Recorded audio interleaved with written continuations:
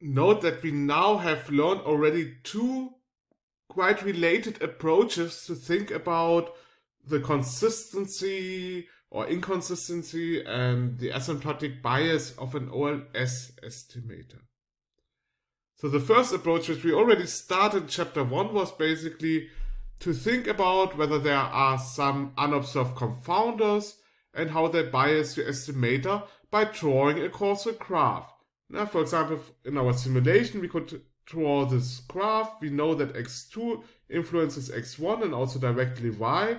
And if we don't add x2 in our linear regression, then it's an unobserved confounders. And basically our coefficient of the beta 1 also estimates basically the, the effect from this indirect uh, relationship, not only the direct causal effect of beta 1.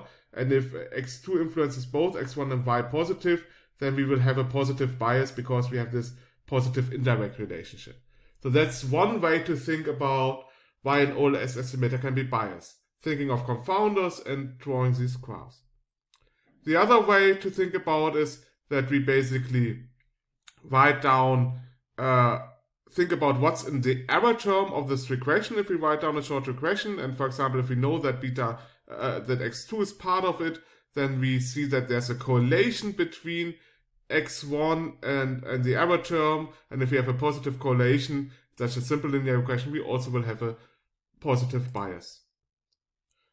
So both approaches are very similar. And thinking either the first or the second approach should basically give you the same result. So if you think uh, that you have a bias if by drawing a, a graph and thinking about the confounders, you should also come to the same conclusion if you just look what is the what is part of the error term in the regression you want to estimate and it's correlated with your variable of interest and you should basically get the same result that there's a bias or not.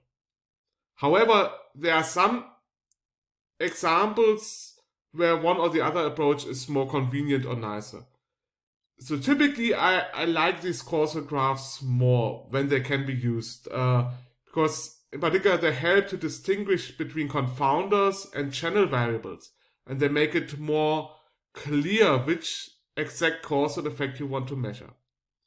However, there are problems that lead to a bias which cannot so nicely be illustrated with a uh, graph. One example is if your explanatory variable is measured in a noisy way, so you, you don't measure the exact x1, but x1 plus some random noise.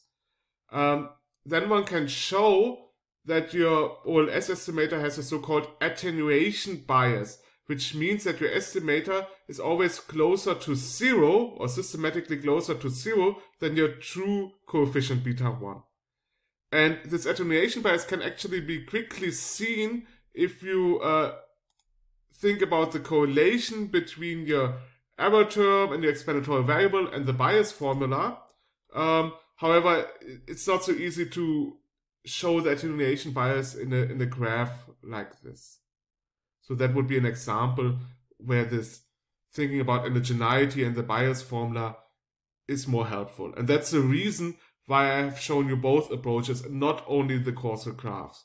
Even if this has led to a lot of more definitions, and you may already think at this point, wow, so many uh, theoretical concepts. When do we get back to applications?